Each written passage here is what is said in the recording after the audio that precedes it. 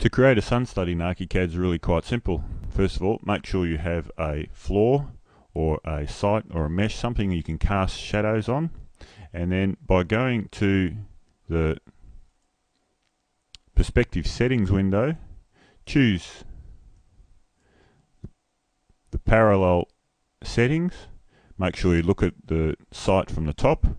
Put the camera down to the bottom as opposed to wherever it was before click on presets if you already have a preset saved but if you don't click on more sun. Choose the city that you're in Melbourne choose the date September 21st 10 o'clock in the morning. And then you can also set project north here. I'm going to leave project north up the page here and push OK. And then push OK here as well.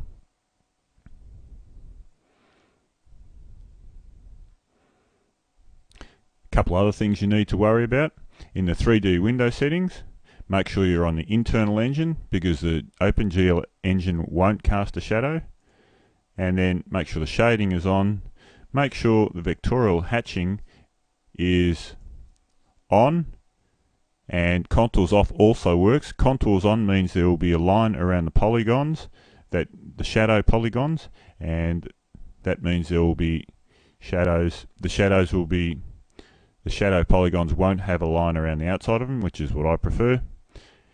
And then push OK, and that's the result that we will have. And then once it's finished generating that, we go to the marquee tool, select the construction method, choose the last option there, put a marquee around the shadows at least, left mouse click,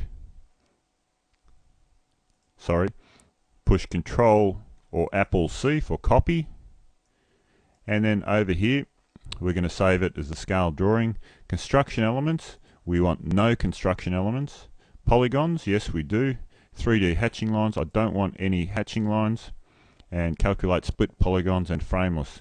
And I push OK. Then I go back to the floor plan. I need to go just say up to the roof plan. And push Control or Apple V, which is paste. And there's my shadows for that time of the year at that particular time. We can also save this into our view map and maybe I'd put this on its own layer, a 10, 10 a.m.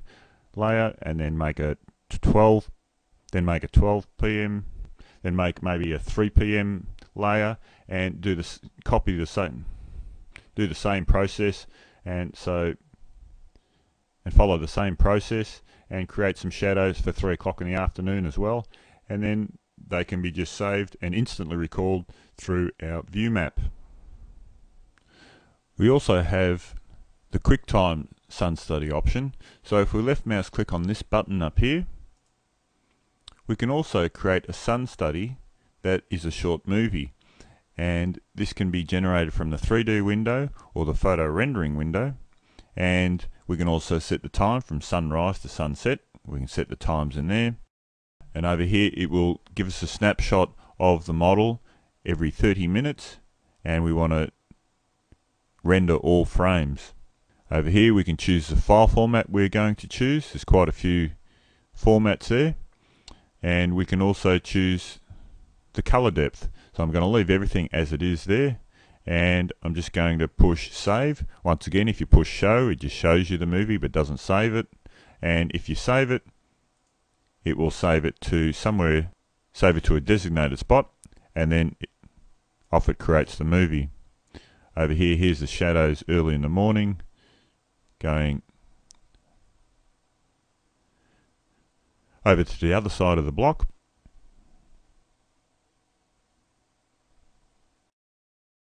Completed, we can just click on the QuickTime movie, and here it is here, and we can push play.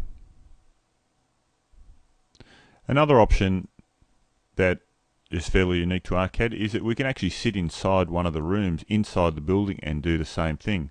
So to do that, I would perhaps close this window here To set the camera up I might just go back down to the ground floor and select my camera and left mouse click where I want the camera, where I want it pointing. So by opening up the floor plan, placing the camera where I want to set up my sun study from, inside the room at the right height. Now when I go to open 3D window, we can see the angle that we're looking at, see the windows. Now let's have a look at where the sun comes through. So I click on create sun study and once again I, I'm going to keep all the same settings and push save, call it inside. So now I'm just going to generate that.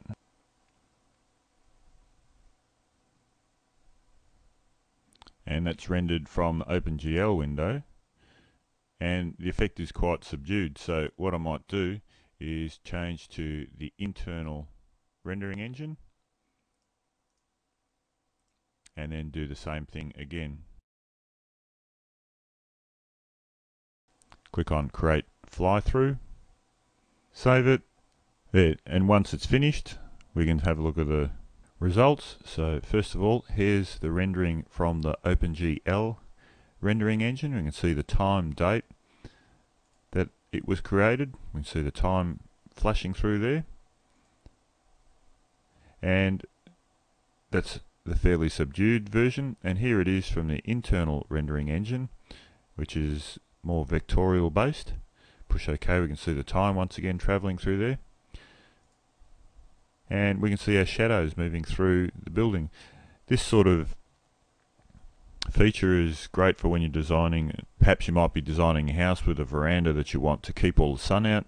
It's a great way to make sure your design's very effective.